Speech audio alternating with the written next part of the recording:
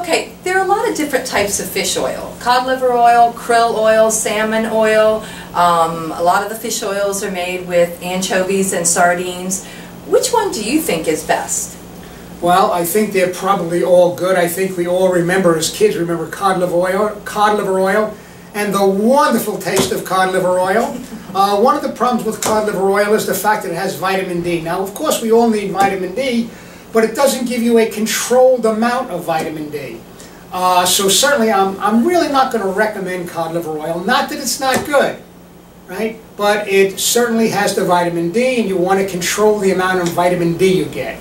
But all of the other um, uh, oils, right, whether it be fish oil, krill oil, um, uh, whether it be salmon, uh, they all have one thing in common. Or I should say two things in common and that is EPA and DHA. Okay, and I surely would recommend taking a total of about 3 grams or 3,000 milligrams of EPA DHA combinations.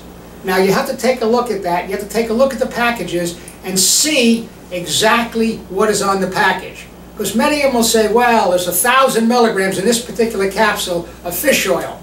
And they're certainly right, there is a thousand milligrams but there is not a 1,000 milligrams of EPA-DHA combination.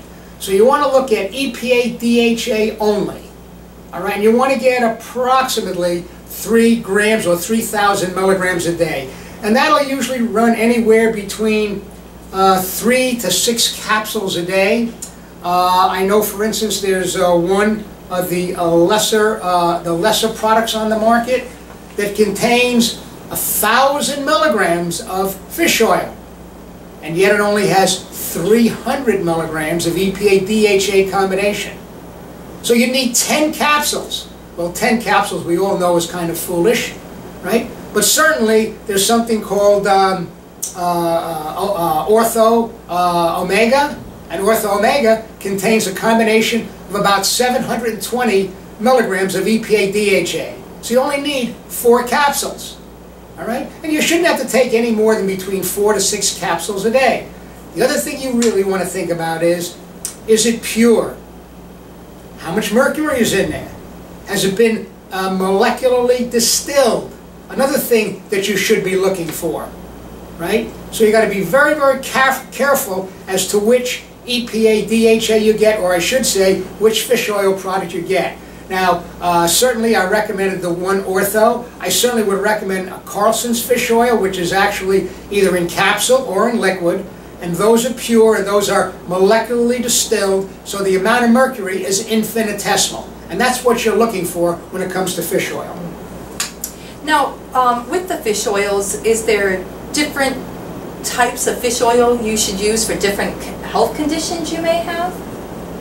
Any recommendations for that? Yes. You may want different amounts of EPA and DHA.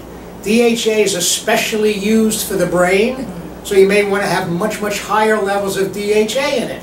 Or you may want to take a capsule that is primarily DHA, right? But usually the combination of EPA, DHA is pretty much where you want to be.